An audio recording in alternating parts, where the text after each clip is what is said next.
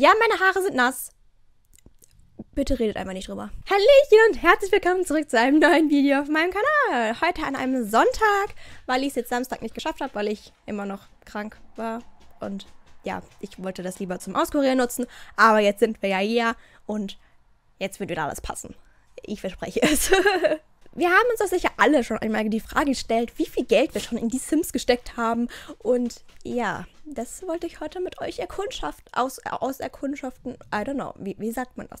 Und dafür habe ich natürlich Origin geöffnet, um zu gucken, welche Packs ich besitze und wie teuer sie wären.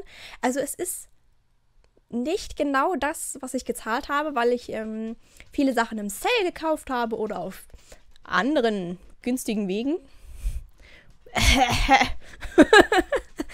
Aber wenn ich jetzt alles so gekauft hätte, wie es jetzt gerade dort öffentlich steht in Origin, dann würde es mich halt interessieren, wie viel ich dann ausgegeben hätte. Weil A, würde es mich glücklich machen, was ich weiß, ich habe sehr viel gespart. Auch wenn ich dann ja nicht genau weiß, wie viel, aber immerhin, ne? Also, ich könnte jetzt natürlich auch die ganzen Rechnungen zusammensuchen und so, aber wer macht das schon? Auf jeden Fall wäre es halt interessant zu wissen, wie viel ich ähm, ausgegeben hätte, wenn ich alles komplett gezahlt hätte. Das hätte ich mir übrigens niemals leisten können. Demnach, ne? Ich öffne an meinem Handy jetzt den Taschenrechner und wir fangen mit Sims 2 an. Das steht bei mir da. Und hier hinten steht Sims 3. Aber ja, das hier ist alles Sims 2. Das ist die komplette Collection. Die habe ich gebraucht gekauft auf Ebay. Da man das ja nicht mehr kaufen kann, kann ich natürlich jetzt nicht bei Origin nachschauen, wie viel es jetzt insgesamt kosten würde oder die Ultimate Collection oder sowas. Gibt es ja gerade nicht. Deswegen würde ich jetzt einfach diesen Gebrauchtpreis nehmen. Und das waren 70 Euro. Die tragen wir natürlich schon mal ein.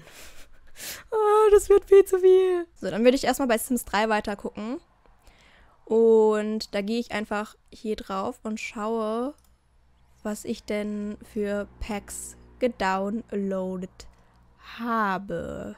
Aus dem Store habe ich nämlich zum Glück nichts gekauft. Also da habe ich alles nur so ähm, gedownloadet mit den Sim-Points, die ich hatte. Äh, obwohl ich da eventuell auf anderen wegen mir demnächst ein paar Sachen downloaden werde. Beziehungsweise, wenn ich dann halt Sims 3 mal wieder downloaden werde, weil ich habe es aktuell nicht installiert auf meinem PC. Es sollte auf jeden Fall besser laufen, seitdem ich die SSD habe. Ich müsste es eigentlich mal ausprobieren, aber Sims 3, das Grundspiel, müsste ich ja dann leider per CD installieren. Und da habe ich halt nicht so Bock drauf, weil das halt immer ein bisschen Probleme macht. Alte Spiele und installieren auf neuen PCs ist immer so eine Sache, ne? Deswegen äh, weiß ich noch nicht genau, wann und wie ich das mache, aber ja. Also, hier wird als erstes angezeigt, einfach tierisch. Wenn ich da auf Details klicke, passiert nichts. Kann ich das nicht als. Warum? Ich verstehe das nicht. Aber. Äh? Warum wird das hier teilweise so komisch angezeigt? Das verwirrt mich ganz doll. Also, 40 Euro, als ob immer noch 40, also ich gebe jetzt nicht 39,99 ein, aber als ob das immer noch 40 Euro kostet, Alter, also, ist lächerlich. Also, einfach 40, äh, einfach, einfach 40. einfach tierisch kostet 40 Euro. Inselparadies habe ich auch. Das sind auch nochmal 40 Euro. So, Into the Future sind 40 Euro. Jahreszeiten sind 40 Euro. Late Night sind 40 Euro. Lebensfreude sind auch 40 Euro. Also die ganzen Erweiterungspacks kosten 40 Euro, ne? Reiseabenteuer habe ich auch. Showtime habe ich. Supernatural habe ich. Traumkarrieren habe ich. Wildes Studentenleben habe ich. Ich glaube, ich habe alle, oder? Ich weiß es gar nicht. Ja, also auf jeden Fall alle, die hier angezeigt werden. Wow. Das sind schon 440 Euro, Leute. mein Gott, also ich habe definitiv nicht so viel Geld ausgegeben. Wie wegen anderen. Wegen das Spiel zu kaufen. Ich habe es aber gekauft. Also, das könnt ihr mir hier nicht vorwerfen, ne? Dann schauen wir bei den Accessoire-Packs. Die haben, glaube ich, 20 Euro gekostet. Kann das sein? Yo, die haben sogar 20 Euro gekostet. Oh mein Gott. Also, 70er, 80er und 90er Accessoires habe ich. Da weiß ich gar nicht, ob ich alle habe, wenn ich ehrlich bin. Jo, hier, Design-Garten-Accessoires habe ich nämlich nicht. Weil man die auf anderen Wegen nicht bekommen hat. Deswegen, aber ich gebe niemals 20 Euro für so ein altes Spiel aus. Äh, vor allem für ein Accessoire-Pack 20 Euro, Alter. Das, wir heulen über unsere 10 Euro in Sims 4. Oh mein Gott. Also diese Accessoires habe ich auf jeden Fall. Gib Gas-Accessoires habe ich. Luxus-Accessoires habe ich. Movie-Accessoires habe ich. Stadt-Accessoires habe ich. Traumsuite-Accessoires habe ich. Und das war's.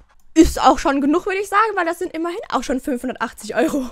Oh mein Gott, Leute. So, ich ähm, trage jetzt das da extra ein mit Sims 4, weil ich möchte gerne wissen, wie viel Sims 4 alleine kostet, gekostet hätte. Weil dann hätten wir nämlich am Ende halt dann eine Rechnung Sims 2, Sims 3 und Sims 4 so. Dann können wir das auch nochmal ein bisschen abschätzen, wie, wie teuer das Ganze ist und so. Das ist vielleicht auch interessant zu sehen. Ich meine, bei Sims 3 war jetzt, glaube ich, das Basisspiel nicht mit drin, aber ich habe halt das Basisspiel ja auch geschenkt bekommen. Deswegen würde ich das jetzt bei Sims 4 halt dazu tun. Aber Sims 4 habe ich. Wie habe ich denn. Wie war das denn? Habe ich das. Ich glaube, ich habe es im Vollpreis noch gekauft. Wie viel kostet Sims 4 im Vollpreis? 40 Euro? Ich glaube ja, oder? Ich glaube 40 Euro. Ich kann es jetzt irgendwie nicht finden, deswegen gebe ich einfach 40 Euro ein und dann schauen wir mal weiter. Wir beginnen mit dem Erweiterungspack und da habe ich alle. Das heißt, ab in Schneeparadies habe ich. An die Arbeit habe ich.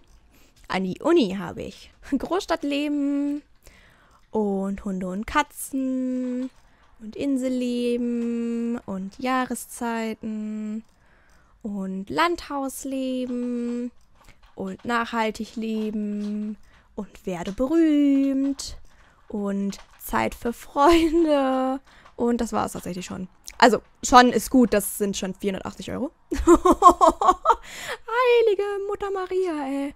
Oh mein Gott. Dann Gameplay Packs. Da habe ich alles außer Reise nach Batu.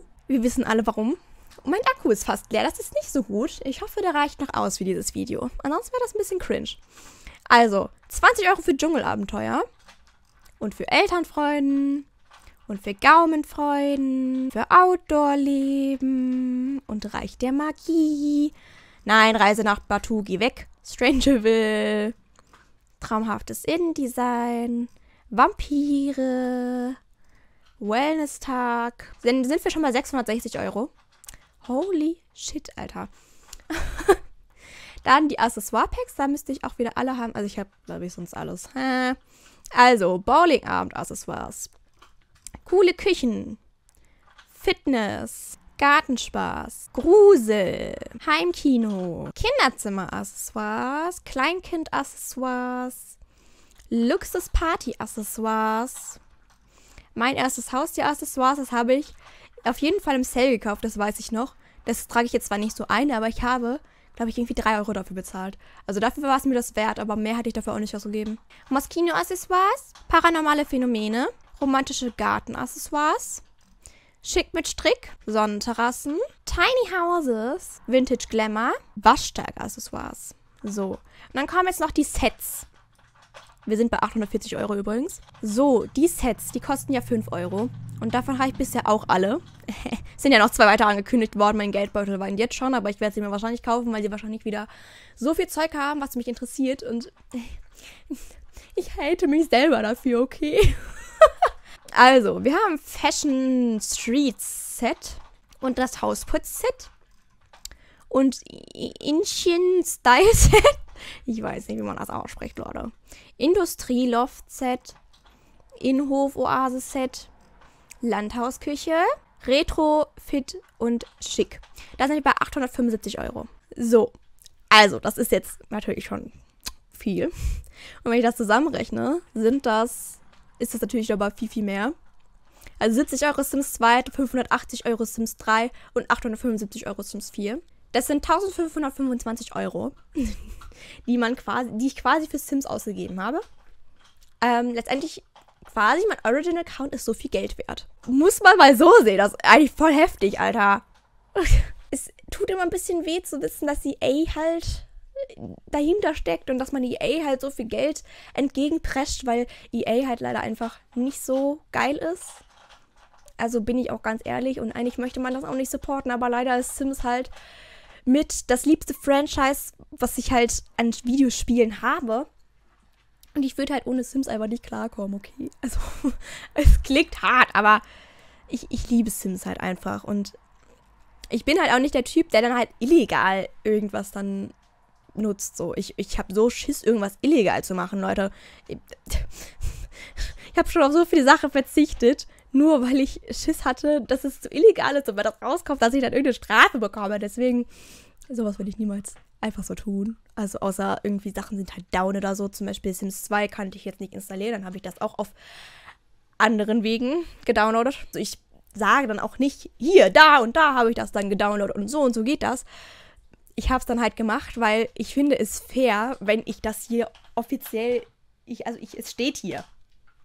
Aber wenn ich es halt einfach nicht installieren kann, dann geht es halt einfach nicht mit CDs. So, es ist halt Windows 10, es ist halt für fucking Windows XP gemacht. Und klar, dass es da nicht funktioniert. Deswegen, ja, werde ich definitiv niemals irgendwas halt illegal so machen. Deswegen muss man einfach sagen, ja, ne, es ist viel Geld, aber letztendlich muss man auch sagen, mh, mm, es ist jetzt ja nicht so, als würde ich nicht meine komplette Zeit quasi da reinstecken. Also allein dieser YouTube-Channel, wie viel Content, wie viel Zeit ich an Content hier reingesteckt habe und Sims und keine Ahnung. Ähm, man muss halt einfach überlegen. In Sims 4 habe ich fast 1700 Stunden, glaube ich. Und es werden ja täglich mehr. Und man muss halt einfach ehrlich sagen, Zeit ist halt letztendlich Geld. Und Geld ist halt das, wofür in die, was ich meine Zeit stecke, so. Und ja, also klar, es ist dennoch unfassbar fucking viel Geld.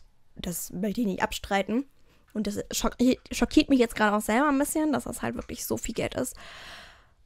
Was ich ja zum Glück nicht so viel ausgegeben habe. Aber trotzdem weiß ich, dass es äh, dennoch mehr als genug Geld ist, was ich dafür ausgegeben habe. Und es wird ja auch nicht weniger. Also es werden ja noch weitere Packs kommen. Bisher sieht es tatsächlich nicht so aus, als würde ich mich auf Sims 5 einlassen, weil Sims 5 ja teilweise irgendwie Subscription Service und so einen Scheiß haben soll. Und ganz ehrlich, das sehe ich dann wirklich nicht ein. Also, weil man muss halt einfach sagen, Subscription Service ist halt immer so eine Sache. Also, weil das Geld kriegt man nicht wieder und irgendwann ist dann vielleicht dieser Service vorbei und dann hat man halt das Geld ins Nichts geschmissen. Bei Sims 4 zum Beispiel das kann ich jetzt mein Leben lang spielen, ja? Oder Sims 3. Und das ist jetzt halt nochmal einfach was ganz, ganz, ganz, ganz anderes. Und ja, wie gesagt, das, ist, das wäre dann bei Sims 5 nicht, wenn das wirklich mit diesem Subscription Service kommt. Ich hoffe einfach, dass es vielleicht doch nur eine Fake News ist. Aber da sie EA ist, kann ich mir halt leider irgendwie nicht denken, dass sie das vielleicht doch lassen.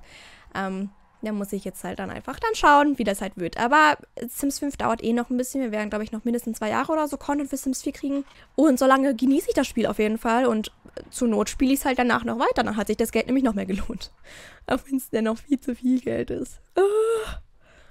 Ja, ich hoffe, es hat euch interessiert. Ihr könnt mir ja gerne mal schreiben, was ihr quasi ausgegeben hättet. Also welche Packs ihr alle so habt und wie viel Geld ihr circa ausgegeben habt für Sims. Ich habe jetzt gar keinen Merch außerhalb irgendwie gekauft oder so. Wenn ihr sowas habt, würde ich das da auch zuzählen, weil das gehört ja zum Sims-Franchise. Und ja, es würde mich halt sehr interessieren, ob ihr auch so viel Geld ausgegeben habt wie ich. mm, wild auf jeden Fall. Ja, ich denke, es war gerade mal ganz interessant, das anzusehen. Und ja, ich bedanke mich fürs Ansehen. Nächstes Mal kommt die 100 Baby Challenge. Am Samstag, hoffentlich. Und wir sehen uns dann wieder. Bis dahin und tschüss.